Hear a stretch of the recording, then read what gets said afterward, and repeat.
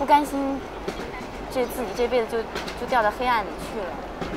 我一九九七年走出来的路，就是我妈一九六八年去黑龙江农村。那时候北京对我们来说是一个特别遥远的、可望而不可及的地方。走楼梯的感觉挺好，的，有一点点吃力，就像我现在的生活。像毛泽东、像邓小平，他们也就是生在农村，湖南、四川嘛。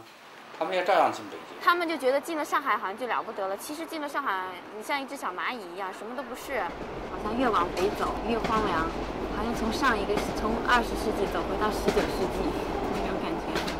如果没有出来的话，那他到死，从我这一代开始，这个家族在这里的历史就终结了。看到今天这个结局，我感觉到几十年的努力没有白费。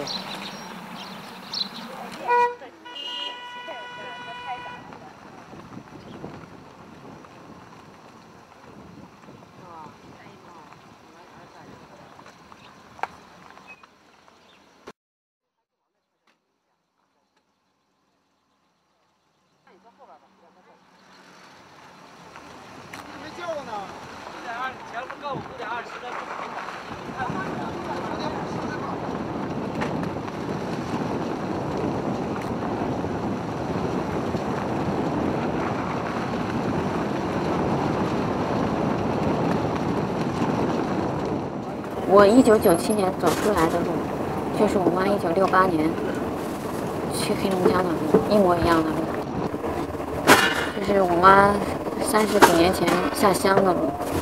不过那时候三十多年以后，我再走回去，按原路返回。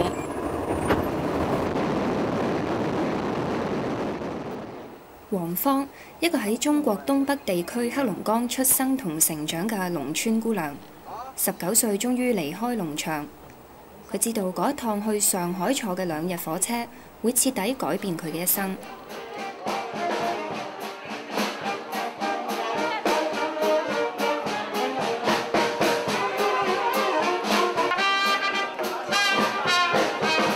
而且我觉得这里的人都特别会玩，特别会疯，无论年轻人还是上了点年纪的人，特别会玩。我觉得他们。我就看着他们很奇怪，可能他们看我也很奇怪。我就觉得他们怎么，他们为什么会玩这些东西？我什么都不会玩，我不舒服，觉得好像自己被这个城市嘲弄了一样，就好像我像个傻瓜蛋，走在街上，什么事情都好像有可能刺伤我的自尊心，自尊心受到很大的挑战。在上海这城市，就像一个被吓懵了那种感觉。好帅。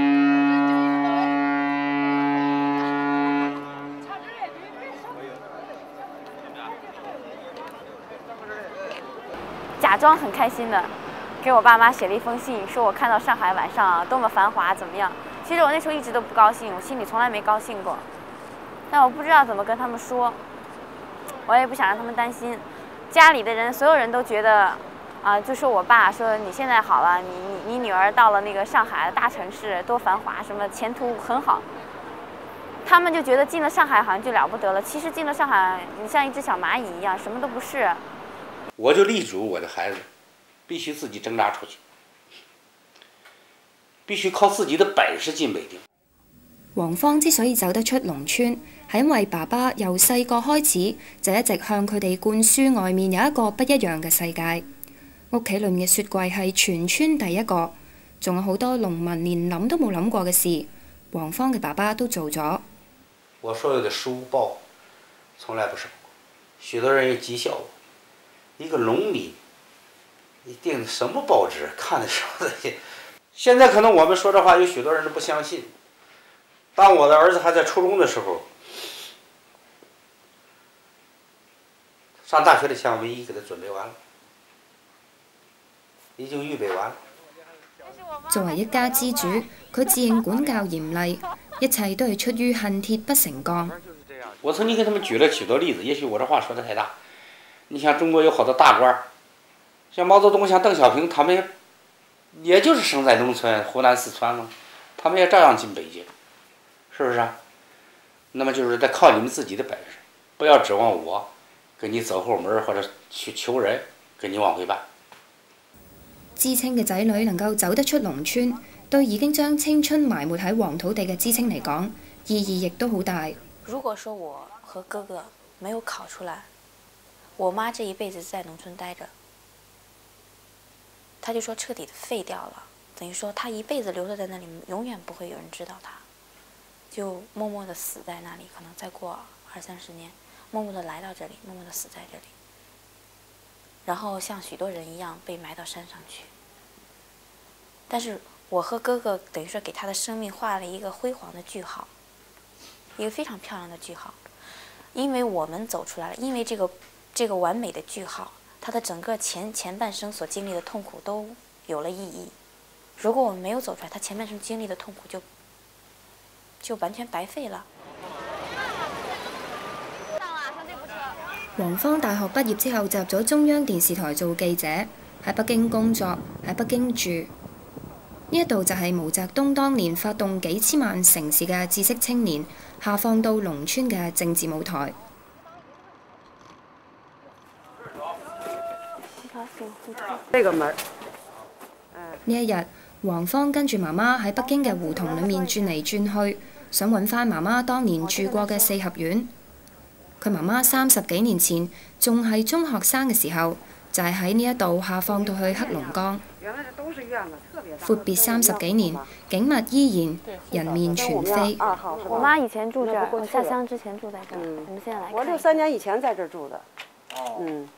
这房子还真搬在吉林了，这玩意在哪住？现在可远了，现在 六八六八年以后，在黑龙江。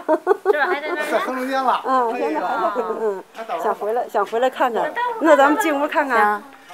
这间屋子是我父亲母亲住的，然后这个屋子是我跟我我我爷爷还有我一个姑奶奶在那住。这个房子吧，前他的痛苦就是在于流落在农村了。不能够回到城市去过那种五彩斑斓的生活。王芳嘅妈妈一九六八年离开北京，下放到黑龙江嘅农场。当时一齐下乡嘅北京同学全部都翻晒去北京，就剩低佢一个冇翻到去，因为佢唔想将丈夫同埋仔女留喺乡下，反而系寄望仔女能够翻到去北京。啊，我妈头发是染的，不染的话就全都是白发，一头白 也值了也。看到今天这个结局，我感觉到几十年的努力没有白费，几十年的付出还是值得的。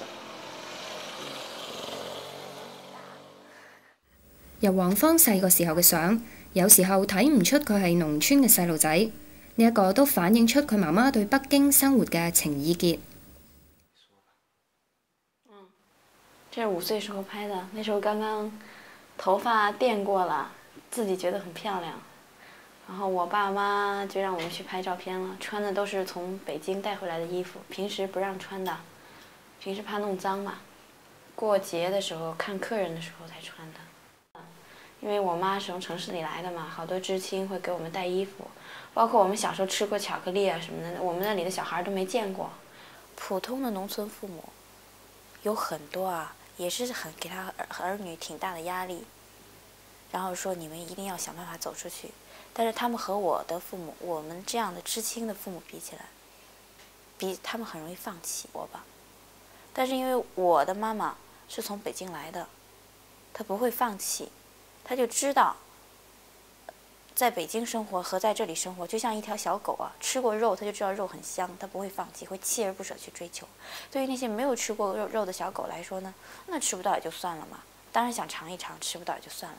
没有特别强烈的愿望去实现它，而我妈从北京来到农村之后，她这个愿望非常强烈，她会锲而不舍的，就一定要支持你，一定要走出去。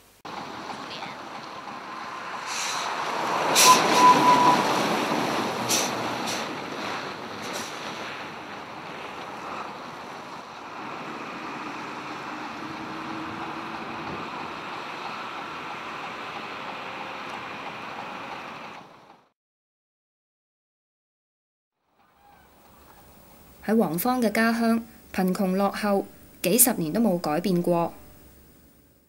我有有的時候回來會看到我的同學在地裡锄地呀，像老農民一樣，浑身都是汗水，然後臉曬得黑黑的，然後手很粗的，然後過來就這樣拉住我的手，跟我说话，那时候心里才难受，那才叫难受。但实际想想，这是一个很很残酷的事情。人的一生啊，他一生就在这里了，我的一生在城市里了。